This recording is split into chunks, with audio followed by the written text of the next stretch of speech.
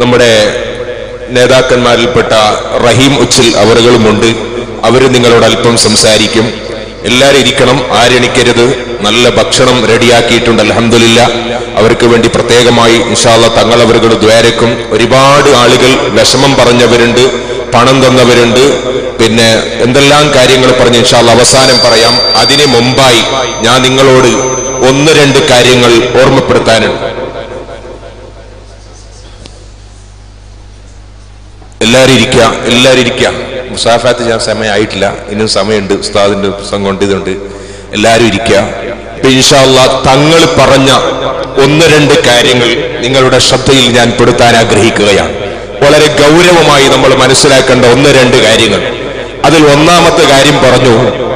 ഔറാൻകുട്ടി മുസ്ലിയാർ നമ്മുടെ കാളിയായി ഉണ്ടാകുന്ന സമയത്ത് ഇന്നത്തെ പോലെ മൊബൈലില്ലാത്ത കാലം കാറില്ലാത്ത കാലം അങ്ങനെയുള്ള കാലഘട്ടത്തിൽ ഉള്ളാളത്തിന്റെ കാളിയായിരുന്ന ഔറാൻകുട്ടി മുസ്ലിയാർ ഉള്ളാളത്തേക്ക് വന്നത് കൊല്ലത്തിൽ ഒന്നോ രണ്ടോ പ്രാവശ്യമായിരുന്നു.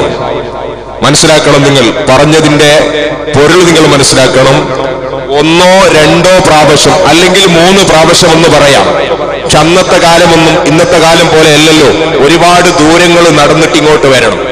അവ ഉള്ളാളത്തിന്റെ കാര്യം നിർവഹിച്ചുകൊണ്ടിരുന്നത് കൊല്ലത്തിൽ ഒന്നോ രണ്ടോ മൂന്നോ പ്രാവശ്യം വന്നുകൊണ്ടാണ്. ഇത് നമ്മളെല്ലാവരും മനസ്സിലാക്കണം. പിന്നൊരു കാര്യം നിങ്ങൾ പറഞ്ഞു. ഇവിടെ കാവി എന്ന് പറഞ്ഞാൽ എല്ലാവർക്കും അറിയാം. ഞാനത് മുമ്പ് പ്രസംഗിച്ചിട്ടുമുണ്ട് എന്റെ വോയിസ് പലരും കേട്ടവരാണ്. കാളി എന്ന് പറഞ്ഞാൽ നമ്മുടെ കമ്മിറ്റിക്കാർക്കോ നമ്മുടെ പ്രസിഡന്റ് കൂടിക്കോ ഒരിക്കലും മാറ്റാൻ പറ്റൂല. കാളി ഒരാൾ ബയ്യത്താക്കി കഴിഞ്ഞാൽ അല്ലെങ്കിൽ ഒരു മഹൽ ബയ്യത്താക്കി കഴിഞ്ഞാൽ പിന്നെ ആ കാളിയെ മാറ്റാൻ ഞങ്ങൾക്ക് അധികാരമില്ല. അതേ സമയത്ത് കാളി പ്രസിഡന്റിനെ പിരിച്ചുവിടാനുള്ള അധികാരം കാളിക്കുണ്ട്. അത് മനസ്സിലാക്കണം മുസ്ലിം ലോകം.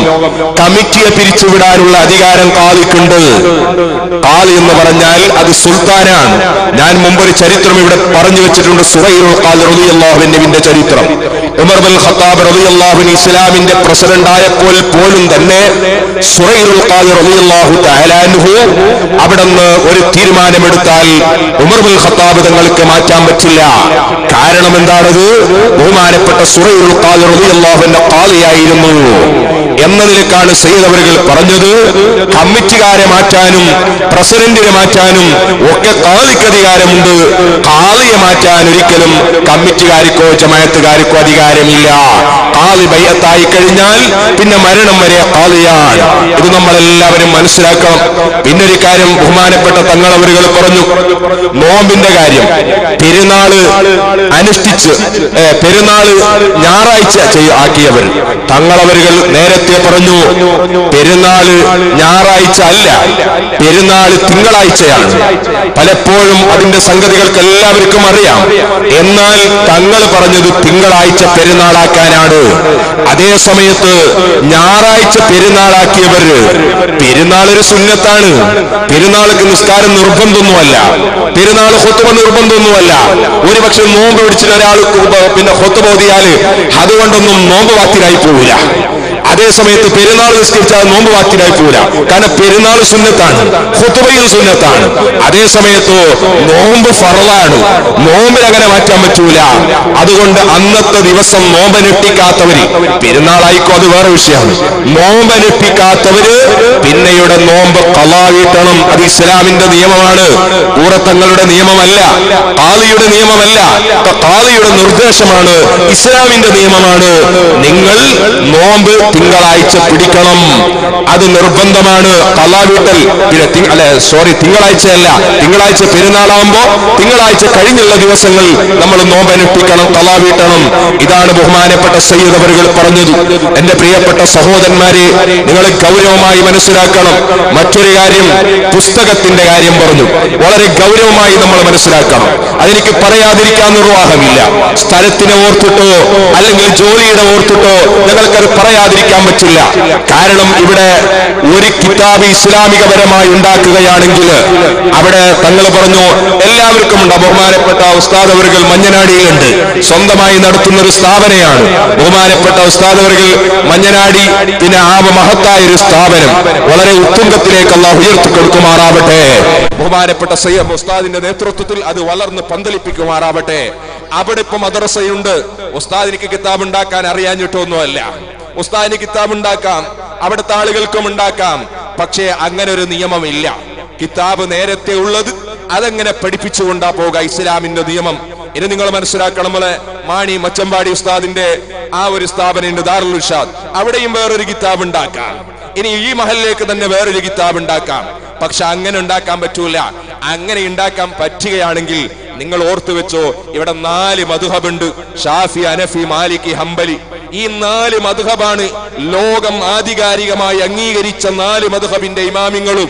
ആ മധുഹബിന്റെ അഭിപ്രായത്തിലാണ് അതനുസരിച്ചുകൊണ്ടാണ് മുസ്ലിം ലോകം. അല്ലാത്തവനിക്ക് മുസ്ലിം പറയാൻ പറ്റില്ല. ഏതെങ്കിലും ഒരു മനുഷ്യൻ ഒന്നൊരിക്കലും അനഫി മധബ് ആയിരിക്കണം. അല്ലെങ്കിൽ ഷാഫി മധബ് ഹംബലി മധബ് അതല്ലെങ്കിൽ ഹനഫി മധബ് അതല്ലാത്ത അഞ്ചാമൻ അതല്ലേ മുഹമ്മദ് അലി ചിന്ന പറഞ്ഞത്? ഇവിടെ ഈ നമ്മുടെ ഇന്ത്യ രാജ്യത്തിനെ വിഭജന പിന്നെ വേർതിരിച്ചിട്ട് അദ്ദേഹം പാകിസ്ഥാനിൽ പോയിട്ട് ഭരിക്കുമ്പോൾ അന്നത്തെ ആലിമിങ്ങൾ പോയിട്ട് പറഞ്ഞു മുഹമ്മദ് അലി ജിന്ന നിങ്ങളിപ്പോൾ ഒരു മുസ്ലിം ഇസ്ലാമിന്റെ ഒരു ഭരണം നടത്തുന്നുണ്ടല്ലോ. നിങ്ങൾ നാലാലൊരു മധുഹബിന്റെ ഭരണം നടത്തണം. അപ്പോൾ ജിന്ന പറഞ്ഞൊരു വാക്കുണ്ട് ഒന്നൊരിക്കലോ നിങ്ങൾ പറയും പോലെ ഒന്നൊരിക്കലോ അനഫി മധുഹബ് അംഗീകരിക്കണം. ഞാൻ അനഫി മധുഹബ് അംഗീകരിക്കാൻ പറ്റില്ല. അല്ലെങ്കിൽ ഷാഫി മധുഹബ് അംഗീകരിക്കണം. അതിനും എന്നെ കിട്ടൂല. അല്ലെങ്കിൽ അഹമ്മദ് ബിൻ ഹംബൽ ഹംബൽ മധുഹബിന് അംഗീകരിക്കണം. അല്ലെങ്കിൽ മാലിക് ഇമാം അങ്ങനെ അംഗീകരിക്കണം. അതല്ലാത്ത ഒരു മധുഹബ് അംഗീകരിക്കാതിരിക്കാൻ പറ്റില്ലല്ലോ. എന്നാൽ ഈ നാല് മധുഹബുകാരൊന്നും ഞാനല്ല. മുഹമ്മദ് അലി ജിന്ന പറഞ്ഞ വാക്കുണ്ട്. അദ്ദേഹത്തിന്റെ ജീവിതത്തിന്റെ പല കാലഘട്ടങ്ങളിലും അദ്ദേഹം ജുമയ വരെ നിസ്കരിക്കാത്ത വ്യക്തിയാണ്. ചരിത്രം വളരെ വ്യക്തമായ രേഖയാണ് നമ്മുടെ കൺമുമ്പിൽ. എന്റെ പ്രിയപ്പെട്ട സഹോദരന്മാരെ നിങ്ങൾ ആലോചിക്കണം. ഇസ്ലാമികമായ ഭരണം നാലാലൊരു മധുഹബിൽ ഉണ്ടാക്കണമെന്ന് അന്നത്തെ കാലഘട്ടത്തിൽ ജീവിച്ച പണ്ഡിതന്മാർ ഉത്തരവിട്ടപ്പോൾ ഈ നാല് മധുഹബുകാരനും ഞാനല്ല എന്ന് പരസ്യമായി പറഞ്ഞ വ്യക്തിയാണ് മുഹമ്മദ് അലി ജിന്ന. നിങ്ങൾ ആലോചിച്ച് നോക്കൂ ഇവിടെ നാലാമത്തെ ഒരു മധുഹബ് കഴിഞ്ഞിട്ട് ബഹുമാനപ്പെട്ട ഇമാമുൽ ഹറമൈന് തങ്ങൾ ഇമാമിന നവവി റഹിമഹുല്ല ലോകം പ്രഖ്യാതന ഇമാം ഹുസാലി തങ്ങൾ ഇവർക്കൊക്കെ മധുഹബ് ഉണ്ടാക്കാമായിരുന്നില്ലേ? ഇവർക്കൊരു മധുഹബ് ഉണ്ടാക്കാമായിരുന്നില്ലേ? എന്തുകൊണ്ട് പിന്നെ കേവലം നാല് മധുഹബിൽ ഒതുക്കി ഇവിടെ? ഇസ്ലാമിന് ഒരു നിയമമുണ്ട്. ഇസ്ലാമിന് ഒരു തത്വമുണ്ട്. അതിന്റെ അടിസ്ഥാനത്തിൽ നീങ്ങാൻ പറ്റും. നിങ്ങളും ഞാനും പറഞ്ഞത് ഇസ്ലാമല്ല. പരിശുദ്ധമായ ഇസ്ലാമിന്റെ നിയമമാണ്. അതുകൊണ്ട് എന്റെ പ്രിയപ്പെട്ട സഹോദരന്മാരെ അതുകൊണ്ടാണ് ബഹുമാനപ്പെട്ട തങ്ങളവരുകൾ പറഞ്ഞത്. എന്റെ വാപ്പാക്ക് കിതാബ് ഉണ്ടാക്കാമായിരുന്നു. ഔറാൻകുട്ടി മുസ്ലിയാർക്ക് കിതാബ് ഉണ്ടാക്കാമായിരുന്നു പുതിയ പ്ലദ്രമ മുസ്ലിയാർക്ക് കിതാബ് ഉണ്ടാക്കാമായിരുന്നു പക്ഷെ അതിനൊന്നും മാറ്റിവെച്ചിട്ട് ഈ പണ്ഡിത ലോകം എപ്പോഴാ തുടങ്ങിയത്? ബഹുമാനപ്പെട്ട ഉസ്താദ് അവരുകൾ സമസ്ത പിന്നെ സമസ്ത കല്ല ജംഇയ്യത്തുൽ ഉലമയിൽ. ബഹുമാനപ്പെട്ട തങ്ങളവരുകളുമുണ്ട് നിങ്ങൾ കണ്ടില്ലേ? എത്ര കാലമായി കിതാബ് ഉണ്ടാക്കിയിട്ട് അത് മഹാന്മാരുടെ നേതൃത്വം കൊണ്ടുള്ള കിതാബാണ്. അത് പഠിപ്പിച്ചാലല്ലേ പറക്കത്തുണ്ടാവുക എന്റെ പ്രിയപ്പെട്ട സഹോദരന്മാരെ അത് നമ്മൾ ഓരോരുത്തരും മനസ്സിലാക്കണം. അല്ലാതെ ഞാൻ പറഞ്ഞു ദീൻ എന്ന് പറയാൻ പറ്റില്ല. ഞങ്ങളൊരു പത്താൾ കൂടിയിട്ട് അല്ലെങ്കിൽ ഇപ്പൊ ഇരുപതാൾ കൂടിയിട്ട് ഒരു കമ്മിറ്റിമാര് കൂടിയിട്ട് ഞങ്ങളൊരു തീരുമാനം എടുത്ത് ആ തീരുമാനം അംഗീകരിക്കണം എന്ന് പറഞ്ഞാൽ അത് കുഞ്ഞാടുകൾ അംഗീകരിച്ചേ പറ്റൂ അല്ലാതെ എല്ലാവർക്കും അംഗീകരിക്കാൻ പറ്റില്ല. കാരണം ഇസ്ലാമിന്റെ നിയമമാണ്. എന്റെ പ്രിയപ്പെട്ട സഹോദരന്മാരെ അതുകൊണ്ട് ഗൗരവമായി മനസ്സിലാക്കണം.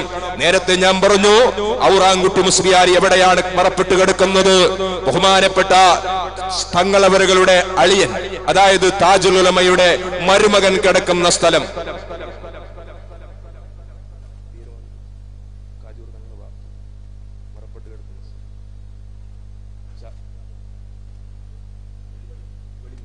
വെളിമുക്കിലാണ് ബഹുമാനപ്പെട്ട ഔറാൻകുട്ടി മുസ്ലിയാർ കിടക്കുന്നത് മറപ്പെട്ട് കിടക്കുന്നത്. ആ വെളിമുക്കിൽ നിന്ന് ബഹുമാനപ്പെട്ട ഔറാൻകുട്ടി മുസ്ലിയാർ ചരിത്രം പരിശോധിച്ചു നോക്കിയാൽ കോഴിക്കോടിലേക്ക് രാവിലെ ഓടി വരാറുണ്ടായിരുന്നു എന്ന് പല ആളുകളും പറയാനുണ്ട്. എന്തേ ഉള്ളാളത്തിലേക്ക് വരാൻ കഴിയാഞ്ഞിട്ടത് കൊണ്ടാ? പക്ഷെ അതിന്റെ ആവശ്യമില്ല. കാൽ എന്ന് പറഞ്ഞാൽ എവിടെ തീരുമാനിച്ചാൽ അത് കാൽ കാലിന്റെ തീരുമാനം തീരുമാനം തന്നെ. ബൈഅത്ത് ചെയ്താൽ ഇത് മുസ്ലിം ലോകം മനസ്സിലാക്കേണ്ട ഒരു വസ്തുതയാണ്. എന്റെ പ്രിയപ്പെട്ട സഹോദരന്മാരെ നിങ്ങളൊരു കാര്യം അറിയണം. അലിമീങ്ങളെ ചിത്ത പറയൽ. ഞാൻ ഇന്ന് ജുമാക്ക് വരെ പറഞ്ഞു സാദാത്യങ്ങൾ ചിത്ത പറയുന്ന ആളുകളുണ്ട്. ലോകത്ത് എത്ര സംദിഗ്ധമായ പ്രശ്നങ്ങളുണ്ട്. എത്ര ബുദ്ധിമുട്ടുകളുണ്ട് എത്ര പ്രയാസങ്ങളുണ്ട്. അതിലേക്കൊന്നും നമ്മൾ ചിന്തിക്കാതെ കേവലം നാലിമീങ്ങളെയും സാദാത്യങ്ങളെയും മാത്രം നോക്കിക്കൊണ്ട് അവർ പറഞ്ഞ തീരുമാനം തീരുമാനമില്ലെന്ന് പറയുമ്പോൾ ഒരു കാര്യം നിങ്ങൾ അറിയണം. ബഹുമാനപ്പെട്ട ഇമാമുൽ ഹറമൈൻ ഒരു ദിവസം ദർസ് നടത്തിക്കൊണ്ടിരിക്കുകയാണ്. ആരാണ് ഇമാമുൽ റളിയല്ലാഹു അൻഹു? ഇമാം ഗസാലി തങ്ങളുടെ ഉസ്താദാണ് വലിയ പണ്ഡിതനാണ്. ആ ഭാഗത്തേക്ക് ഇപ്പോൾ ഞാൻ കടക്കാൻ ആഗ്രഹിക്കുന്നില്ല. ബഹുമാനപ്പെട്ട ഒരു ദറസ് ഇങ്ങനെ നടത്തുന്ന സമയത്ത് ആ ദറസിലേക്ക് ഒരു ബോൾ വന്ന് വീണു. ഒരു പന്ത് വന്ന് വീണു. ബോൾ. കുട്ടികൾ ക്രിക്കറ്റ് കളിക്കുന്ന ഒരു ബോൾ. ബഹുമാനപ്പെട്ട ഉസ്താദിന്റെ ദർസിലേക്ക് വന്നു വീണു. ബഹുമാനപ്പെട്ട ഇമാമുൽ ഹറമീന് തങ്ങളുടെ ദറസിലേക്കാണ് വീണത്. എങ്ങനെയാ വീണത്? കുറച്ച് കുട്ടികൾ ക്രിക്കറ്റ് കളിച്ചുകൊണ്ടിരിക്കുകയാണ്. ആ കുട്ടികൾ ക്രിക്കറ്റ് കളിച്ചുകൊണ്ടിരിക്കുമ്പോ അല്ലെങ്കിൽ അതുപോലെയുള്ള പന്ത് കൊണ്ട് കളിച്ചുകൊണ്ടിരിക്കുമ്പോ ആ ബോൾ വന്നിട്ടാണ് ഇമാമുൽ ഹറമീൻ റളിയല്ലാഹുവിന്റെ ദറസ് നടത്തുന്ന സബക്ക് നടത്തുന്ന സ്ഥലത്തിൽ വീണു. പക്ഷേ കുട്ടികളെല്ലാം നോക്കി എങ്ങനെയാണ് ഹറമീന് തങ്ങളുടെ അടുത്തേക്ക് പോകുന്നത്? എങ്ങനെയാണ് പോകുന്നത്? ആർക്കും പോകാൻ ധൈര്യമില്ല. കാരണം ഹറമീന് തങ്ങളാണ്. വലിയ കറാമത്ത് കാണിച്ച മഹാനാണ്. വലിയ അത്ഭുതം കാണിച്ച മഹാനാണ്. എങ്ങനെയാണ് ഇമാമുൽ ഹറമീന് തങ്ങളുടെ അടുത്തേക്ക് ചെല്ലുന്നത്? എല്ലാരും പേടിച്ച് വിറക്കുന്ന സമയത്തിലാണ് ആ കളിക്കുന്ന കൂട്ടത്തിൽ ഒരു കുട്ടി ചാടിയെടുന്നീറ്റുകൊണ്ട് പറയുകയാണ് ഞാൻ പോയിക്കൊള്ളാം. ആ ബോൾ എടുത്ത് ഞാൻ കൊണ്ടുവരാം. ഇമാമുൽ ഹറമീന് തങ്ങളുടെ സബക്കിന്റെ നടുവിൽ നിന്നിട്ട് എന്നിട്ടോ ആ കുട്ടി അങ്ങത് ശീഘ്രം ഓടിപ്പോവുകയാണ്. എന്നിട്ടോ ഉസ്താദ് ദർസ് നടത്തുന്ന സ്ഥലത്തിൽ നിന്ന് ബോളങ്ങ് പിടിച്ചുകൊണ്ട് പുറത്തേക്ക് വരികയാണ്. ഇത് കണ്ടപ്പോൾ ഉസ്താദ് പറഞ്ഞു ജന്മനാ തകരാറുള്ള കുട്ടിയാണിവൻ. ജന്മനാ തകരാറുള്ള കുട്ടിയാണ്. ഉസ്താദ് പറഞ്ഞു ഈ കുട്ടിയുടെ ജന്മം ശരിയില്ലെന്നാണ് പറഞ്ഞതിന്റെ അർത്ഥം. കാരണം പിന്നെ ഒരാൾക്ക് ആ ദറസിലേക്ക് വന്ന് ബോളെടുത്തു കൊണ്ടുപോകാൻ പറ്റില്ല. പക്ഷേ ഈ കുട്ടി മാത്രമാണ് വന്നത്. ആ കുട്ടി വന്ന സ്ത്രീക്ക് ഉസ്താദ് പറയുകയാണ് ഇമാമുൽ ഹറമീന് തങ്ങൾ ഈ കുട്ടിക്ക് ജന്മനാ തകരാറുണ്ടെന്ന് പറഞ്ഞു. ആ സമയത്തിലാണ് മുത്തല്ലിമിങ്ങൾ അത്ഭുതപ്പെടുകയാണ്. കുട്ടി കളിച്ചുകൊണ്ടിരിക്കുന്ന കുട്ടിയാണ്. ധൈര്യത്തോട് വന്ന് കൊണ്ടുപോയ കുട്ടിയാണ്. ഹറമീന് തങ്ങളുടെ അടുത്തേക്ക് അത്ര പെട്ടെന്നാരും വരാറില്ല. എന്നാൽ ഈ കുട്ടി എങ്ങനെ വന്നു? എന്നിട്ട് ഉസ്താദ് ജന്മനാ തകരാറുള്ള കുട്ടിയാണെന്ന് പറഞ്ഞു. മുത്തല്ലിമിങ്ങൾ ചെന്നു. ഈ കുട്ടി ആരാണെന്ന് അന്വേഷിച്ചു. ഈ കുട്ടിയുടെ വാപ്പാരാണെന്ന് അന്വേഷിച്ചു. ചോദിച്ചു വാപ്പന്റെ അടുത്ത് പോയിട്ട് നിങ്ങളുടെ മകനെ കുറിച്ചിട്ട് ഇമാമുൽ ഹറമൈന് തങ്ങൾ ജന്മനാ തകരാറുള്ള കുട്ടിയാണെന്ന് പറഞ്ഞിട്ടുണ്ട്. ജന്മനാ തകരാറുള്ള കുട്ടിയാണെന്ന് പറഞ്ഞിട്ടുണ്ട്. ഇമാമുൽ ഹറമൈന് തങ്ങളെ പറഞ്ഞു എന്ന് പറഞ്ഞപ്പോ വാപ്പക്ക് ദേഷ്യം പിടിച്ചു പോയി. എന്റെ മകനെ കുറിച്ച് ഉസ്താദ് അങ്ങനെ പറഞ്ഞോ? എനിക്ക് ചോദിക്കാതിരിക്കാൻ പറ്റില്ലെന്ന് പറഞ്ഞു. അങ്ങനെ ഒരു സ്റ്റെപ്പും കൂടി ഉസ്താദിനോട് ചോദിക്കാൻ വേണ്ടി മുമ്പോട്ട് നീങ്ങിയപ്പോ വാപ്പ ചിന്തിക്കുന്നു ഞാൻ ആരുടെ അടുത്തേക്കാണ് പോകുന്നത്? വലിയ കറാമത്ത് കാണിച്ചു പോയ ബഹുമാനപ്പെട്ട ഇമാമുൽ ഹറമീന് തങ്ങളുടെ അടുത്തേക്കാണോ പോകുന്നത്? ഇമാമുൽ ഹറമീന് തങ്ങളുടെ അടുത്തേക്കാണോ പോകുന്നത്? എന്ന് പറഞ്ഞപ്പോ ബഹുമാനപ്പെട്ട ഇമാമുൽ ഹറമീന് തങ്ങളുടെ അടുത്തേക്ക് പോകാതെ വീട്ടിലേക്ക് അങ്ങ് തിരിച്ചു പോവുകയാണ്. ഭാര്യയുടെ അടുത്തേക്ക് ചെല്ലുന്നു. മോളെ ഞങ്ങളെ കുട്ടിയെ കുറിച്ച് ഉസ്താദ് പറഞ്ഞിട്ടുണ്ട്. ജന്മനാ തകരാറുള്ള കുട്ടിയാണെന്ന് പറഞ്ഞിട്ടുണ്ട്. ഇത് ശരിയാണെന്ന് ചോദിച്ചു. ഭാര്യ പറഞ്ഞു ശരിയാണ്. ശരിയാണ്? അപ്പൊ ഇതെന്ത് എന്തുകൊണ്ട് അങ്ങനെ ജന്മനാ തകരാറുണ്ടായി പോയത് ഭാര്യച്ചോട് ഭർത്താവ് ചോദിക്കുമ്പോ വാപ്പ ചോദിക്കുമ്പോ ബാപ്പ ബാപ്പ ചോദിക്കുമ്പോ ഭാര്യ പറയുകയാണ് ഭർത്താവിനോട് അല്ല മോളെ. ഏ അല്ല ഭർത്താവേ സംഗതി അറിയോ? ഈ കുട്ടിക്ക് ഞാൻ ജന്മം നൽകുന്ന സമയത്ത് അല്ലെങ്കിൽ ഗർഭം ചുമക്കാനുള്ള കാരണം നിങ്ങൾ വിദേശത്തിലായിരുന്നു. അങ്ങനെ നിങ്ങൾ നാട്ടിലേക്ക് വന്നു. നിങ്ങൾ നാട്ടിലേക്ക് വരുമ്പോൾ ഞാനും നിങ്ങളും രാത്രി കിടന്നുറങ്ങി. അങ്ങനെ ആ രാത്രിയിൽ ഞാനും നിങ്ങൾ ബന്ധപ്പെട്ടു. ഭാര്യ ഭർത്താക്കന്മാര് തമ്മിൽ ബന്ധപ്പെട്ടു. അങ്ങനെ ബന്ധപ്പെട്ടപ്പോൾ അതിന്റെ കാരണം കൊണ്ട് കുഞ്ഞിയായി. എന്നാൽ കാരറിയണോ കാര്യം നിങ്ങൾക്കറിയോ? അന്ന് ഞാൻ ഹൈലുള്ള പെണ്ണായിരുന്നു. അന്ന് ഹൈലുള്ള സ്ത്രീ ആയിരുന്നു അങ്ങനെ ഹൈൽ രക്തത്തിലൂടെ ബന്ധപ്പെട്ട കുഞ്ഞിയായതുകൊണ്ട് ആ കുഞ്ഞിക്ക് ജന്മനാ തകരാറുള്ള കുഞ്ഞിയാണെന്ന് ഇമാമുൽ ഹറമീന് തങ്ങൾ പറഞ്ഞത് ശരിയാണ്. ആരാ പറയുന്നത്? ഭാര്യ പറയുന്നത് അതുകൊണ്ട് ഇസ്ലാമിന്റെ നിയമമാണ്. സ്ത്രീകൾ മെൻസസ് ഉള്ള സമയത്ത് അവരുടെ മൊട്ടുപൊക്കലിന്റെ ഇടയിൽ വരെ സുഖം എടുക്കൽ ഭർത്താവിന്റെ മേൽ ഹറാമാണ്. എന്നാണ് ഇസ്ലാമിന്റെ നിയമം. ആ സമയത്ത് നിങ്ങൾ ബന്ധപ്പെട്ടത് കൊണ്ടിട്ടാണ് ഇവിടെ ആ കുഞ്ഞിക്ക് തകരാറുണ്ടായത്. എന്നാൽ നിങ്ങൾ മനസ്സിലായിക്കോ തങ്ങന്മാരെ ആക്ഷേപിക്കുന്നവര് ഒന്നരിക്കലോ വിചാരത്തിൽ നിന്ന് ജനിച്ച കുട്ടിയാണ്. അതല്ല രണ്ടാമത്തെ ഇമാം ബൈഹക്കി തങ്ങൾ പറയട്ടെ രണ്ടാമത്തെ ഹൈലോ ഉള്ള സമയത്ത് ബന്ധപ്പെട്ടുണ്ടായ കുട്ടിയാണ്. അവർക്ക് ജന്മനാ തകരാറുണ്ട്. ജന്മനാ തകരാറുള്ളവൻ മാത്രമേ ആലിമീങ്ങളെ കുറ്റം പറയുകയുള്ളൂ. സാധാ തിങ്ങളെ കുറ്റം പറയുകയുള്ളൂ. ഇത് ഞാൻ നിങ്ങളുടെ ശ്രദ്ധയിൽ ഓർമ്മപ്പെടുത്തിയുണ്ട്. എന്റെ പ്രിയപ്പെട്ട സഹോദരങ്ങൾ ബഹുമാനപ്പെട്ട താജുൽ ഉലമയാണ് അവിടുന്ന് കാലിയാക്കി തന്നത്. ഇന്നും പലപ്പോഴും എല്ലാവർക്കും ഇന്നും എല്ലാവർക്കും കാണാം. അതാ താജുൽ ഉലമ കാളിയാക്കിയപ്പോ അവിടുന്ന് എല്ലാ ആളുകളും വിളിച്ചു പറഞ്ഞു തക്ബീരുകോ അവിടുന്ന് പറഞ്ഞിട്ടുണ്ട് ബഹുമാനപ്പെട്ട സയ്യദവറുകളെ കാളിയാക്കിയിട്ട്. അതുകൊണ്ട് ഉള്ളാളക്കാർ കാളിയാക്കി അംഗീകരിച്ചതാണ്. ഇനി എന്ത് കുത്തകണ്ട പറഞ്ഞാൽ എന്ത് ന്യായം കൊണ്ടുവന്നാൽ ഏത് കോടതിക്ക് പോയി കളഞ്ഞാലോ കാളിയെ മാറ്റാൻ. ഒരു ഉമ്മ പറ്റ മകനിക്ക് അധികാരമില്ല. ഇത് ഇസ്ലാമിന്റെ നിയമമാണ്. ഈ നിയമത്തിന് തള്ളിപ്പറയിൽ ഇസ്ലാമല്ല.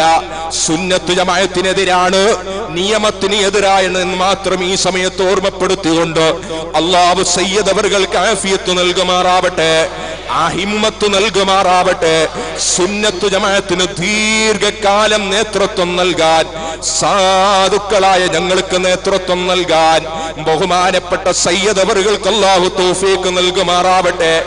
അടിവറയിട്ടുകൊണ്ട് ഒരു വാക്കും കൂടി ഞാൻ പറയട്ടെ. ബഹുമാനപ്പെട്ട താജുൽ മോഫാത്താകുന്നതിന് മുമ്പ്. ഞാനും എന്റെ നാട്ടിലുള്ള സാഗർ ഹംസാക്ക ബഹുമാനപ്പെട്ട സയ്യദവറുകളുടെ റൂമിലേക്ക് ചെന്നപ്പോ എന്നോട് പറഞ്ഞു എടോ ഞാൻ ഈ മൂന്ന് വിരൽ കൈ കാണിച്ചുകൊണ്ട് പറയുകയാണ്. ഞാനിതാ ഇത്ര മാത്രമേ ഭക്ഷണം കഴിച്ചിട്ടുള്ളൂ. ഇത്ര മാത്രമേ ഭക്ഷണം കഴിച്ചിട്ടുള്ളൂ.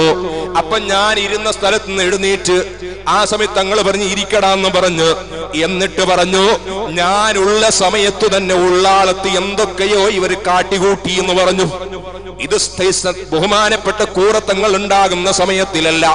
ഞാൻ ഉണ്ടായ സമയത്ത് തന്നെ ഉള്ളാളത്ത് എന്തൊക്കെ കാട്ടിക്കൂട്ടി? എന്നിട്ട് എന്നോട് പറഞ്ഞു ഉള്ളാളക്കാരെ വിശ്വസിക്കണ്ട. അവർ ചതിച്ചു കളയും കേട്ടോ ഇത് പറയാതിരിക്കാൻ നിർവാഹമില്ല.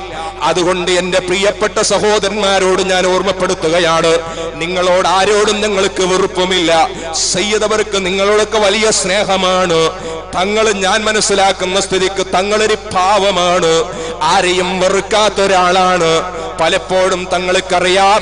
ഞാനൊരു പന്ത്രണ്ട് വർഷം മുമ്പ് കുമ്പക്കോട് എന്ന് പറയുന്ന ഒരു സ്ഥലത്തുണ്ടായിരുന്നു. അവിടെ ഇതിനേക്കാൾ വലിയ പ്രശ്നമുണ്ടായിരുന്നു. അങ്ങനെ പ്രസിഡന്റും സെക്രട്ടറിയും തമ്മിൽ തള്ളിയപ്പോ ഒരു റമലാനിന്റെ ആറാമത്തെ ദിവസമായിരുന്നു. സയ്യദവരുകൾ എന്നോട് പറഞ്ഞു പ്രസിഡന്റിന് ഇങ്ങോട്ട് വരാൻ പറയൂ. അതുപോലെ സെക്രട്ടറി ഇങ്ങോട്ട് വരാൻ പറയൂ. അങ്ങനെ ഞാൻ പറഞ്ഞു തങ്ങളെ വരാമെന്ന് പറഞ്ഞു. പിറ്റേ ദിവസം പ്രസിഡന്റിനെ വിളിച്ചു. പ്രസിഡന്റ് വരെ എനിക്ക് വരാൻ പറ്റില്ല തങ്ങളോടൊന്ന് പറഞ്ഞിട്ട് ഞങ്ങൾ പിണങ്ങിയത് ശരി തന്നെയാണ്. തങ്ങളോടൊന്ന് നിങ്ങൾ ഫോൺ വിളിച്ച് സംസാരിച്ചു തരണം. എനിക്കൊന്ന് മാപ്പ് പറയാൻ വേണ്ടി പറയണം. എന്ന് ഞാൻ പറഞ്ഞപ്പോ തങ്ങളോട് സംസാരിച്ചു. പ്രസിഡന്റ് ഇബ്രാഹിമാജ് എന്ന് പറയുന്ന ആൾ മാപ്പ് പറഞ്ഞു. പക്ഷേ സെക്രട്ടറി വന്നില്ല. മാപ്പ് പറഞ്ഞില്ല. പിറ്റേ ദിവസം ഞങ്ങൾ അങ്ങോട്ട് ചെന്ന് പതിനൊന്നര മണിക്കാണ് ചെല്ലുന്നത്. തങ്ങൾ കയറിയ പാട് ചോദിച്ചു അയാ അവൻ വന്നില്ലെന്ന് ചോദിച്ചു. ഞാൻ പറഞ്ഞു വന്നില്ലെന്ന് പറഞ്ഞു. ഉടനെ തന്നെ തങ്ങൾ പറഞ്ഞു തങ്ങൾക്ക് ഓർമ്മയുണ്ടോ എന്ന് എനിക്കറിയില്ല. അവന് ഞാൻ ഇങ്ങോട്ട് വരുത്തുമെന്ന് പറഞ്ഞു. എന്നിട്ട് എന്നോട് നമ്പർ ചോദിച്ച് ഞാനൊന്ന് ഫോൺ വിളിക്കട്ടെ. ഞാൻ പറഞ്ഞു തങ്ങൾ ചിലപ്പോൾ ദേഷ്യം പിടിച്ച് അന്നേരത്തിന് പറയുന്നത് വേണ്ടെന്ന് പറഞ്ഞിട്ട് ഞാൻ നമ്പർ കൊടുത്തില്ല. എന്റെ കൂടെയുള്ള ഒരു നമ്പർ കൊടുത്തു. തങ്ങൾ ഫോൺ വിളിച്ച അയാൾ ഫോൺ എടുത്തില്ല. അങ്ങനെ ലോഹോര് നിസ്കാരം കഴിഞ്ഞ് ഞാൻ ഇങ്ങനെ പുറത്ത് നിൽക്കുന്ന സമയത്ത് സെക്രട്ടറി ഫോൺ വിളിച്ചു ഉസ്താദ് നിങ്ങളുണ്ട്. ഞാനിപ്പോ ഉള്ള ആളത്തെ പിന്നെ കൂറത്തേക്ക് വരാം. എന്തിനാണെന്നറിയോ? എന്റെ അതാ അങ്ങാടി ഇവിടെ ഇപ്പുറത്ത് കിടക്കുന്ന വലിയ വീട്. അത് മാത്രമല്ല വലിയ ആ ഒരു ഗോഡാമ്. റബ്ബറിന്റെ സ്ക്രാച്ച് സൂക്ഷിക്കപ്പെട്ട പന്ത്രണ്ട് ലക്ഷത്തോളം വരുന്ന മുതലുള്ള ആ ഒരു ബിൽഡിംഗ് മുഴുവനും കത്തി നശിച്ചു പോയി. അതാ കത്തിയത്. പതിനൊന്ന് മണിക്ക് കത്താൻ തുടങ്ങിയത്. മൂന്ന് മണി രണ്ട് മണി സമയം വരെയായി. കത്തിയത് വിവരം ഞാൻ അറിഞ്ഞില്ല. തങ്ങളുടെ പൊരുത്തക്കേട് എനിക്ക് വാദിച്ചു പോയതാണ്. ഞാനൊന്ന് വരട്ടെ. തങ്ങളുടെ മുമ്പിൽ ഞാനൊന്ന് മാപ്പ് പറയട്ടെ. ഉസ്താദിനെ കുറിച്ചൊന്ന് പറയണമെന്ന് പറഞ്ഞിട്ട് ഞാൻ അവിടെ കാത്തു നിന്നു. ആ ചെറുപ്പക്കാരൻ വന്നു. ഉടനെ തന്നെ തങ്ങൾ ചോദിച്ചു അങ്ങനെ എന്തൊക്കെ സംസാരിച്ച അവസാനം തങ്ങൾ പറഞ്ഞു? അള്ളാഹു കത്തിയതൊക്കെ നിനക്ക് തിരിച്ചു തരട്ടെ. ഇന്നും അവിടുത്തെ സെക്രട്ടറി മഹമൂദാണ്. ചിലപ്പോ എന്റെ വാക്ക് അദ്ദേഹത്തിന് കേൾക്കുന്നുണ്ടാവുമെന്ന് ഞാൻ മനസ്സിലാക്കുകയാണ്. ഇതാണ് സാധാ തിങ്ങളുടെ പവർ ഇതാണ് ആലിമീങ്ങളുടെ പവർ ഇനിയും ഞാനൊരു സ്ഥലത്തിന്റെയും പേര് പറയാം. ദാ ഞാനും തങ്ങളും ഒരു സ്ഥലത്ത് ജനറൽ ബോഡിയിലേക്ക് ചെന്നു. അങ്ങനെ ജനറൽ ബോഡി വല്ലാത്തൊരു ജനറൽ ബോഡിയായിരുന്നു. കുറച്ച് ചെറുപ്പക്കാരോട് അവിടെ നിന്ന് ഉന്മേഷത്തോട് തങ്ങളോട് എന്തൊക്കെ ചോദിച്ചു. തങ്ങൾ അവരെ ഇരുത്തുകയും ചെയ്തു. എന്നിട്ട് ജനറൽ ബോഡി കഴിഞ്ഞിട്ട് തങ്ങൾ പുറത്തേക്ക് വരുമ്പോ എന്നോട് പറഞ്ഞു ചിലപ്പോ പ്രസിഡന്റ് മരിക്കും അല്ലെങ്കിൽ ഞാൻ മരിക്കുന്നു പറഞ്ഞു തങ്ങൾ മരിക്കുന്നു പറഞ്ഞു. എന്നോട് പറഞ്ഞ വാക്കാണ് പിറ്റേ ദിവസം വൈകുന്നേരം കഴിഞ്ഞ് രാത്രിയാകുമ്പോ ഫോൺ വരുന്നു. ആ പ്രസിഡന്റ് ഹാർട്ട് അറ്റാക്ക് ആയി മരിച്ചു. കണ്ടോ ഞാനിത് മുമ്പിൽ വെച്ചുകൊണ്ട് ബഹുമാനം പറയാൻ ആഗ്രഹിക്കുന്നില്ല. പക്ഷേ സത്യം മനസ്സിലാക്കാൻ വേണ്ടിയിട്ട് തീന് മനസ്സിലാക്കാൻ വേണ്ടി നിങ്ങളോട് ഞാൻ പറഞ്ഞു പോയതാണ്. അതുകൊണ്ട് മോമിനിങ്ങളെ ദേശം മാറ്റിവെക്കൂ അർസം മാറ്റിവെക്കൂ പരസ്പരം വൈരാഗ്യം മാറ്റിവെക്കൂ വെക്കൂ അതേ വാശി പിടിക്കലങ്ങ് മാറ്റിവെക്കൂ എല്ലാവരും സുന്നത്തു ജമാഅത്തിന് വേണ്ടി പ്രവർത്തിക്കൂ. നിങ്ങളെ കൂടെ ഞങ്ങളുണ്ട് സയ്യദവറുകളുണ്ട് അതുകൊണ്ട് ദുനിയാവിലുമുണ്ട് മാഹുറത്തിലുമുണ്ട് എന്നാൽ മാത്രമേ ഞങ്ങൾക്ക് വിജയിക്കാം എന്ന് ഈ സമയത്ത് ഓർമ്മപ്പെടുത്തിക്കൊണ്ട് സയ്യദവറുകളുടെ തണലിലായി ഞങ്ങൾക്ക് നീങ്ങാൻ സർവാധിപനായ റബ്ബുൽ ഇസ്സത്തായ പടച്ചവൻ അനുഗ്രഹിക്കുമാറാവട്ടെ എന്ന് ആത്മാർത്ഥമായി പറഞ്ഞുകൊണ്ട് പിന്നെ ഒരാൾ ദ്വാരക്കാൻ വേണ്ടിയിട്ട് പലരും പല നിലക്കുള്ള വിഷമങ്ങൾ പറഞ്ഞിട്ടുണ്ട്. ഇൻഷാല്ല ചെയ്തവരുകൾ ദ്വാരക്കും. അതായത് പിന്നെ ആക്സിഡന്റ് ആയിട്ട് റഫീഖ്